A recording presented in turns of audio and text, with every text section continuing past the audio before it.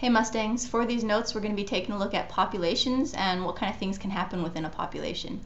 Now for these notes I'm going to say use the pause button.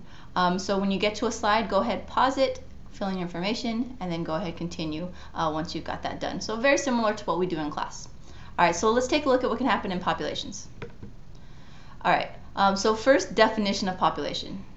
So population is a group of the same species that live in the same area. So if we look at the next slide here, each one of these is an example of a population. So here's a population of frogs, here's a population of buffalo, here's a population of mice. Um, so each one of these represents a population. So the same species living in the same area. Okay, um, so a, key part of that is the same area as well. Um, there could be different populations of buffalo. Uh, there could be different populations of meerkats if it's if they're living in a different area. All right, what can cause a population to grow and what can cause population to decrease? So here on this slide, we have a couple of examples of uh, what could cause a population to grow or decrease. So as far as growth, births are going to cause populations to grow. And another thing is going to be immigration. So immigration is when organisms of the same species from a different population come into that population. Okay, now you're probably familiar with this word um, when it comes to immigration when we're talking about like illegal immigrants, stuff like that. Um, it's it means the same thing. So when someone comes, let's say from Mexico, or they come from China, they come from Italy, they come from England. If they're coming from that population into the U.S., uh, we call that immigration. Same thing works for animals though too. Um, so if an animal from one population goes to a different population, then it's going to be considered immigration. Okay. One way to remember what immigration, remember the I for in. Okay. So uh, individuals from a different population are coming into a population. Now populations can also decrease.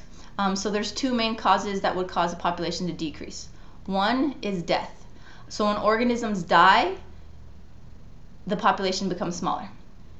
Second is emigration with an E. Okay, emigration with an E is when organisms from a population are going to leave the population and go to a different population.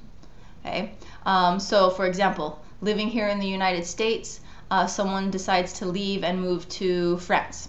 Okay, uh, if that's the case, they would be emigrating from the United States. They are leaving the United States.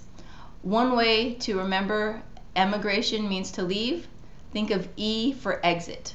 So E for exit, individuals are exiting or leaving the population, uh, which is going to cause the number of individuals in the population to go down. So if you do move to France, the population of the US just decreased by one. Okay. Um, now we could apply this to our own lives here. So births, if your mom is pregnant and she has a baby, your family just increased, right? There was a growth in your family. Um, if a family member moves into your household, they're coming into your household, your family just grew. Deaths, unfortunately, it's part of life. So if someone in your family dies, your family decreases by one. Uh, if someone leaves, so moves out of your household, then your family has decreased by one. All right, so let's take a look and compare. So if the number of births is greater than the number of deaths, so let's say there's 1,000 births and there is 100 deaths. So 1,000 births, 100 deaths. That means the population is going to grow. So we're going to have growth in the population. If the number of births is equal to the number of deaths, so here we have, let's say, 1,000 births and 1,000 deaths, there's going to be no change in the population.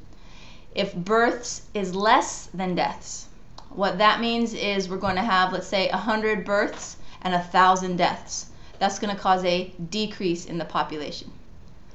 Over here, immigration, emigration. So remember, immigration is in, emigration is exit. Okay, so if we have a thousand individuals come into a population and we have 700 exit a population. So a thousand came in and uh, 700 exited. That's going to cause the population to grow. If it's equal, a thousand uh, come into the population and a thousand exit the population, then that's equal. There's no change in the population. Finally, if we have immigration, emigration, if immigration is less than emigration, so 500 individuals came into a population, but 700 exited the population, so that's 200 difference, uh, you're going to have a decrease in the population. All right, so here we're talking about how populations can grow and how they can decrease. So here's something I want you to think about. Two elephants could increase to a population of 19 million elephants in 750 years. So just starting with two elephants, having them mate and produce offspring, in uh, uh, 750 years, you wind up with 19 million elephants. Okay. So question, why isn't our planet overrun with elephants? So go ahead and think about that for a moment. All right, so let's find out why. Now, there's two type, different types of growth that you're going to need to know about. The first is called exponential growth, and we're actually going to be doing an activity in class with this. So with exponential growth, um, this is where a population grows to infinity. So the population just keeps growing, growing, growing, bigger and bigger and bigger, um, and this is due to having unlimited resources. Okay, so here's an example of how um, a graph would look if you actually charted a population that is growing exponentially, and we call it a J curve. So the population is just going to keep on growing and growing. So if we look at it, it kind of looks like a J shape. So it goes up, up, up, up, up. So the number of individuals just keeps on increasing that this means the population is growing. So here's time and here's the number of individuals. So over time, individuals uh, keep on adding to the population, causing it to grow and grow. And uh, according to this type of growth, it would they would grow on to infinity, that the population would never stop growing. Okay. Now, another type of growth we're going to take a look at is going to be logistic growth. Okay. With logistic growth, uh, this is when a population grows or uh, grows um, to a certain point and then they stop growing and it's due to limited resources. Okay, um, so here if we take a look, uh, this uh, is going to be what the graph looks like for logistic growth. Okay, so in logistic growth, the population um, grows. So here we can see the population growing. So the number of individuals increases, increases. The population is growing bigger and bigger and bigger and then they hit a point where the population doesn't grow much bigger than that. Okay, um, the point where the population can no longer get any bigger um, is called the carrying capacity. Okay, so the carrying capacity is the point where the population cannot grow any bigger. Um, that's the point where the environment can't support any more individuals. And the reason for that is if you have more individuals, there's not enough resources to keep them all alive. So they run out of water, um, they run out of food, they run out of space. So food, water, and space are the most common uh, resources that are um, very limited in an environment. Um, so once the population hits that, they can't grow very much higher than that. Now the shape is going to be what we call an S curve. So the shape will be an S curve for logistic growth. So if you saw on a graph, you can tell that a population is going through logistic growth based on the S curve, the S shape. Okay. Now, in logistic growth, um, when you hit carrying capacity here, uh, this is what actually happens in nature. So in nature, populations are going to go through logistic growth, not through uh, exponential growth. All right, so in nature, what other things can affect population size and population growth? So go ahead and think about that for a moment. What can affect population size and population growth? And go ahead write down some examples on your paper right now. So what can actually cause a population to uh, grow and or even decrease?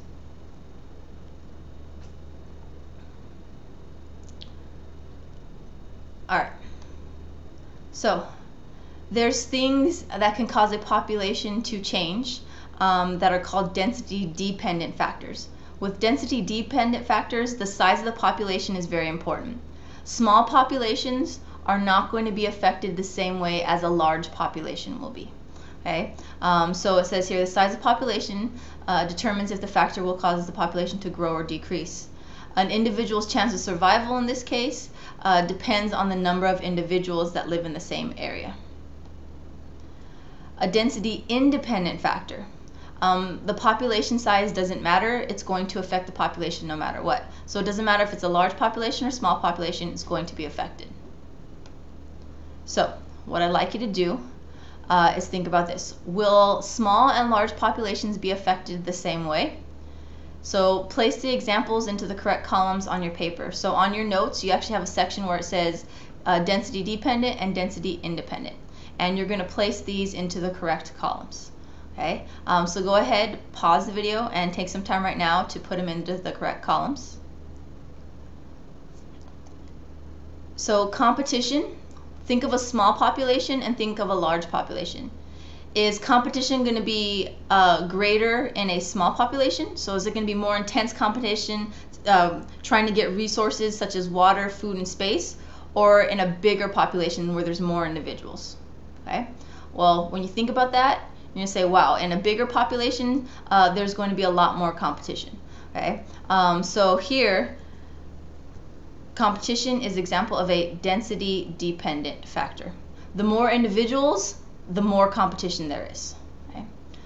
A food shortage. So say you run out of food. So a population runs out of food. Um, in a small population, is that going to be a really big deal versus a large population? Okay. Uh, well, let's say we're stuck in the classroom, and there's only five of us, and all I have is you know maybe some walnuts, a box of Cheez-Its, and some graham crackers.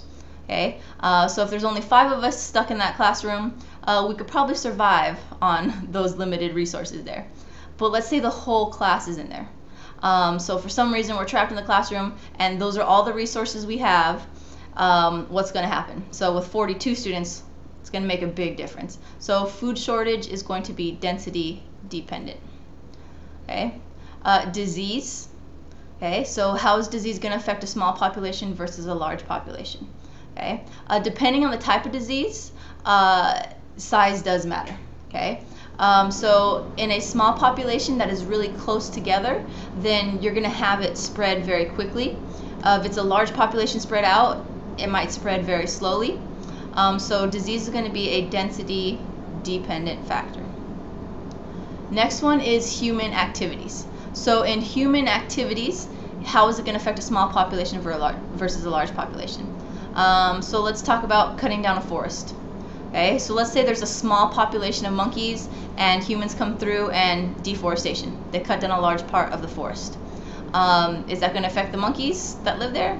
Yes. Let's say there's a large population of monkeys. Humans come through and cut down the forest. Is that going to affect them? Yes. So in this case, regardless of size, um, they're going to be affected by it. So this is a density independent factor. Um, parasitism Parasitism is very similar to disease. De depending on the uh, population size, it could uh, spread fast or slow. So that's density dependent. Predation. Okay, so the number of individuals. So predation is when animals are going to hunt down and eat something else. That's predation. Uh, so a lion hunting down a zebra is an example of predation. So if there's a large population of zebras, how is that going to affect the lion population? Well, that's going to be a good thing. If there's a small population of zebras, how is that going to affect the lion population? Uh, not going to be a good thing. Okay, so predation is density dependent. All right, the last one, natural disasters. Okay, so with natural disasters, we're talking about fires, floods, hurricanes, earthquakes, stuff like that. So if you think about a small population, okay, so say there's a small population of uh, ladybugs living in a forest and a fire comes through the forest. Okay? Um, if the ladybugs are in the right place at the right time, they might survive. Let's say there's a large population in that same forest and fire comes through. Well, is it going to affect them the same as a small population? Yeah. So here, natural disasters are going to be density independent. So it doesn't matter if it's a large population or a small population, um, a natural disaster can wipe out an entire population or reduce an entire population. All right, so that's our notes. Uh, go ahead, uh, take a look at your notes, go over them a couple times, and if you need to, go back and uh, watch the video again. Uh, make sure you pause and it, the parts that you didn't understand, uh, go back and, and review those. All right, have a good one. I'll see you guys.